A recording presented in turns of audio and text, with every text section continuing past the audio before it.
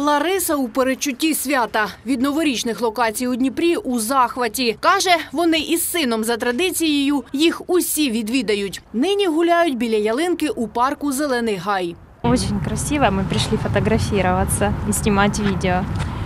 Очень красиво. Найбільші міські ялинки у Дніпрі на площі Героїв Майдану та у парку Лазаря Глоби. У середмісті 26-метрове дерево, яке замість зірки увінчує герб міста. А 18-метрову ялинку у парку Глоби прикрасили 3D-елементами. А всегда нравится, каждый год красиво.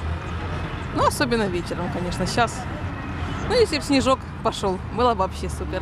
Мне нравятся елки и на них украшения. В этом году у них лампочки висят намного лучше, чем в том.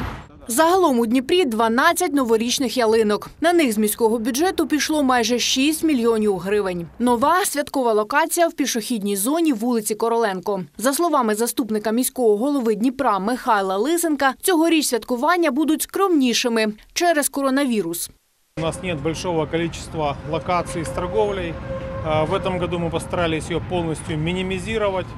А, В этом году мы ограничились установкой новогодней елки, а также а, новогодним освещением и убранством улицы Яворницкого, у- улицы Короленко и площади э, Шевченко. Э, Согласно этой хорошей доброй традиции, каждый год у нас будут появляться новые локации. У 2021 році, ймовірно, новорічну локацію створять і на набережній перемоги. Галина Гусак, Денис Крикус, Василь Самовар, Open телеканал відкритий.